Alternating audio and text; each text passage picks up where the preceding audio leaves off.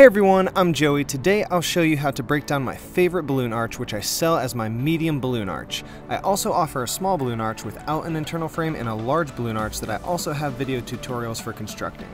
This super affordable, high quality balloon arch from Amazon is very easy to set up.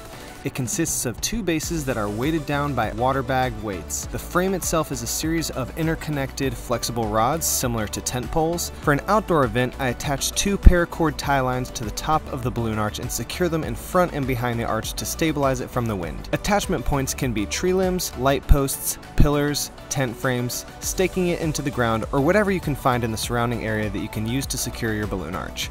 For this arch, I have it staked in the ground, so the first thing I'm going to do is pull the stakes out and untie the paracord. Next, I'm going to move the arch onto the bricks because when I pop all of my balloons, it will be much easier to clean up if they are all popped on a flat surface rather than in grass. There's a good chance that when you're moving your balloon arch that it will tip over without the paracord rope security attachments on a windy day.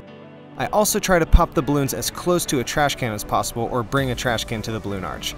And luckily there's a trash can right behind me. Once I've got both of my bases on the hard surface, I'll start popping. You'll notice as I'm popping the balloons, I'm pulling the balloon arch towards me so that I'm essentially staying in the same place. This is easy because you don't have to move as much and it also keeps the popped balloons all in the same spot on the ground instead of having a 20 foot line of balloons on the ground. If you're gaining anything from this video, don't forget to hit that like button for the YouTube algorithm. That's a great free way you can show your support. Next, I empty the water from the water bag weights. I usually do this in an outdoor drain, a bush, or into the grass as long as I'm spreading out the water and not creating a puddle. I roll the water bags as I empty them to try to get out every single last drop of water. I haven't been successful yet, but this does do a pretty good job of getting all the air and water out of the bags. I used fishing line to secure all of my quads to each other and to the arch frame, so I'm going to use scissors to cut off the fishing line and any popped balloons still tied to the frame as I fold up the flexible rod frame.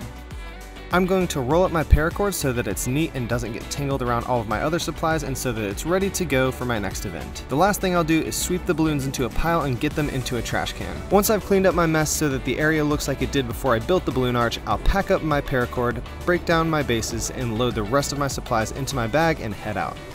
If this was helpful or entertaining, don't forget to smash that like button for the YouTube algorithm. It really helps my channel and it's a super small free way you can show your support. You can subscribe to my channel for more balloon tutorials, personal finance, and business tips. Let me know in the comments below what content you'd like to see next. Thanks so much for watching, I'm Joey, I'll see you next time.